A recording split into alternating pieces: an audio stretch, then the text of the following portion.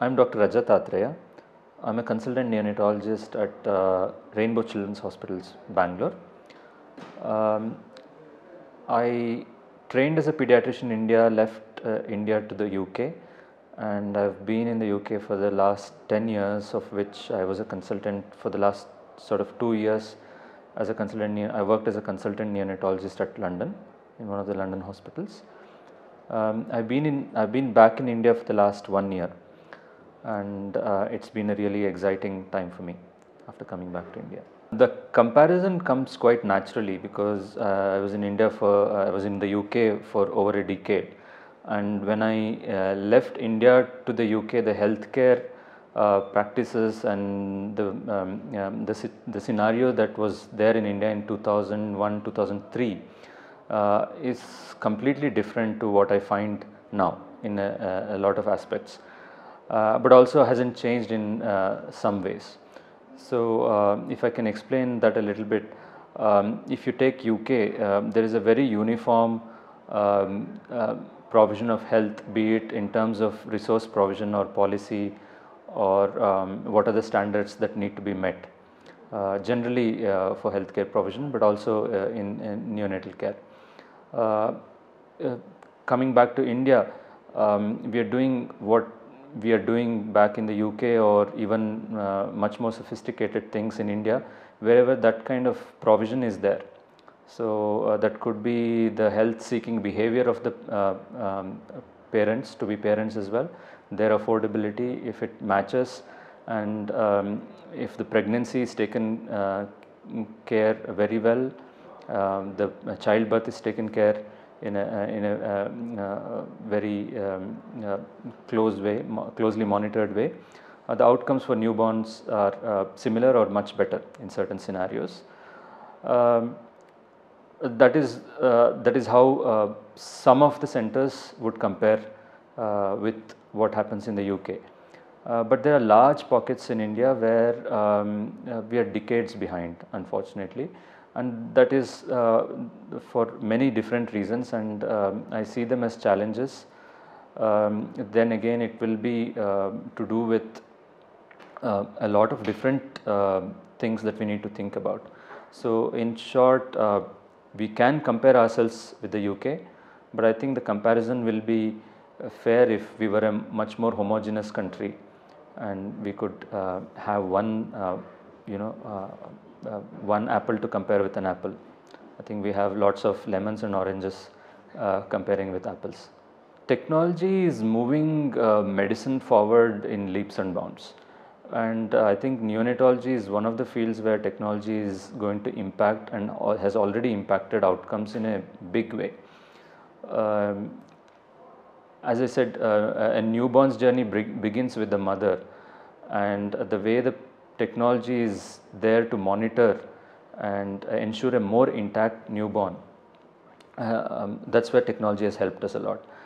Um,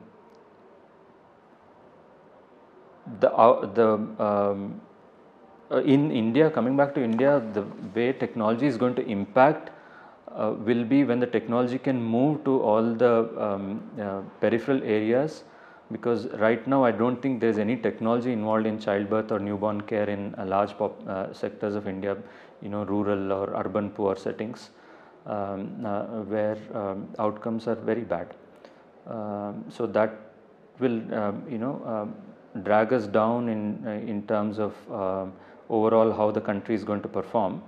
Uh, but technology will certainly uh, be a game uh, changer, um, and uh, the challenge would be to uh, get the technology go down to uh, peripheral levels. Challenges are manifold. Um, so to start with, uh, I think uh, we we have policies, uh, sort of guidelines, but um, there is no um, kind of one uniform set of guideline or policy that everybody everyone has to subscribe to or even if it is there i think um, a, a, um, a lot of work needs to be done either in implementation or with compliance. Um, so i think we need to set a basic minimum standard in all settings on in all healthcare settings and try to achieve that.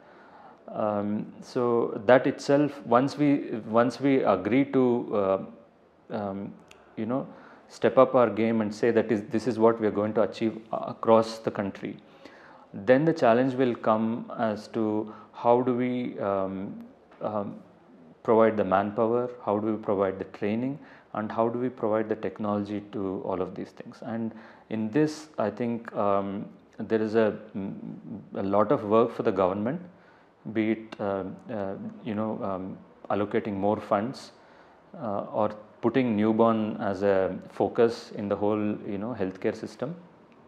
Um, but also I think a large uh, body of work needs to be done um, from professionals like uh, us uh, in creating a huge amount of public awareness. So, if you talk about uh, blood pressure or cholesterol or diabetes or heart disease or cancer, there is huge amount of public awareness today.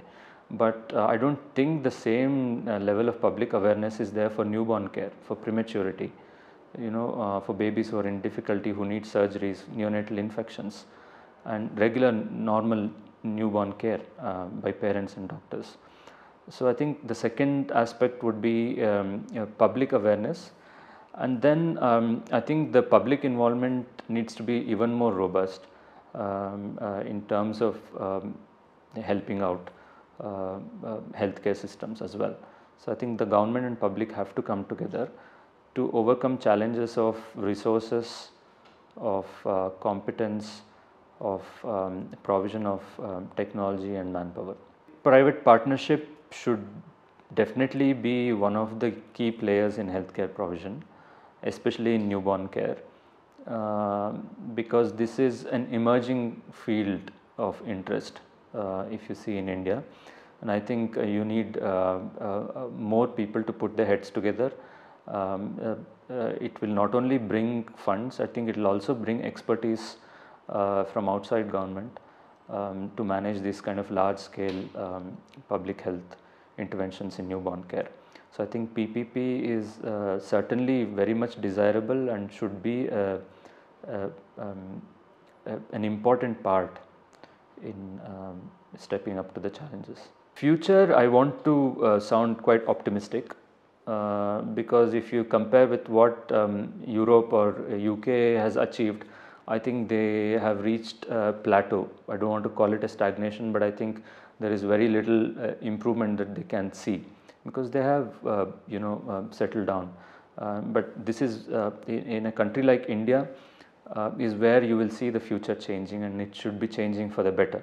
So we are already becoming, um, we are already gaining a, a name world over for um, things like health tourism, so, be it joint replacements or uh, surgeries or uh, anything simple from cataract to hip replacements and things like that. Uh, people are coming from abroad to get trained because they, they can do more surgeries uh, quickly in a more economical way, in a more efficient way. I think newborn care um, should go that way.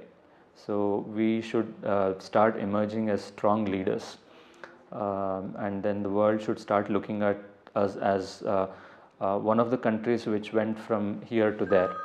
Um, so, um, so I, I think the future is uh, quite optimistic.